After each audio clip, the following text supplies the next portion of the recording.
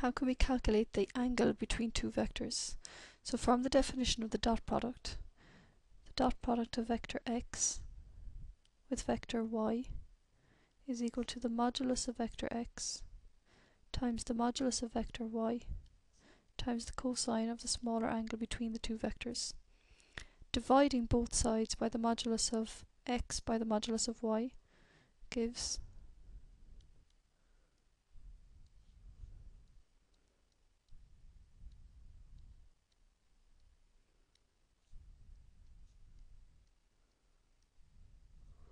And if you want to try and find theta, then theta is equal to the cos inverse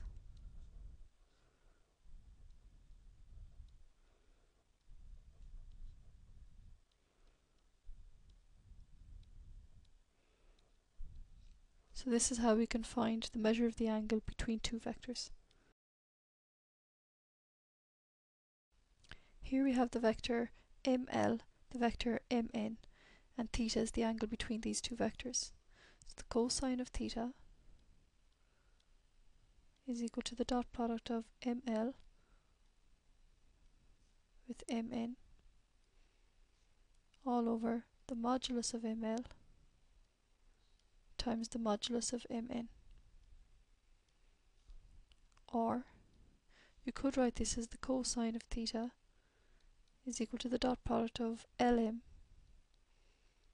with nm all over the modulus of ml times the modulus of mn. What's important here is that when you're finding the dot product you either get both vectors in the direction away from the point m, so ml and mn, or you take the two vectors in the direction towards m, so lm and nm. You cannot have one going towards and one going away. When you multiply the vector ml by mn, the dot product, you will get an answer. If you were to multiply lm, which is just the negative of ml, by nm, which is the negative of mn, you will get the same answer as a negative by a negative gives the positive. Whereas if you were to do one towards and one away, you will not get the same answer. Here's an example of a question asking you to find the angle between two vectors. A is the vector 3i plus j, so here's the vector A, and B is the vector i plus 2j, which is here. And the question is asking you to find the angle between the two vectors A and B. So from our definition, the cos of the angle between the two vectors is equal to the dot product of vector A with B all over the modulus of vector A by the modulus of vector B. Now a good idea would be to try and find the dot product of A with B and find the modulus of A and B and then put them back in here to this formula. So over here we'll find the dot product of A with B. This is equal to 3i plus j dotted with i plus 2j which is equal to, so from the definition of the dot product, you need to find the product of the i coefficients and add them to the product of the j coefficients. So it's 3 times 1 plus 1 times 2, which is equal to 3 plus 2, which is 5. Now, another thing that you'll have to find is the modulus of A and the modulus of vector b. So looking for the modulus of vector a, from the definition of the modulus, it's the square root of 3 squared plus 1 to be squared, which is equal to the square root of 9 plus 1, which is equal to the square root of 10. The modulus of vector b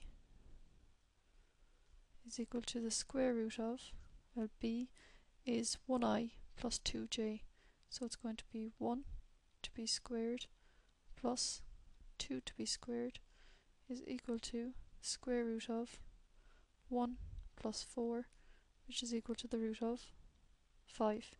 So now filling back into your formula here and we'll do it in the middle because there's more room you have the cos of theta is equal to the dot product of A with B, which turned out to be 5 all over the modulus of vector A times the modulus of vector B. Now the modulus of vector A turned out to be the root of 10 and the modulus of vector b turned out to be the root of 5.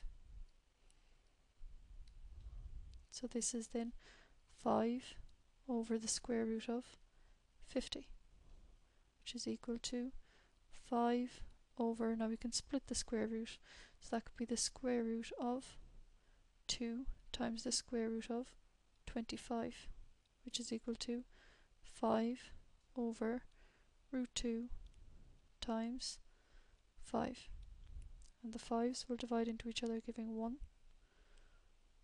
so your answer is 1 over the root of 2 now that's what the cos of theta is. So theta is equal to the cos inverse of 1 over root 2 which is equal to 45 degrees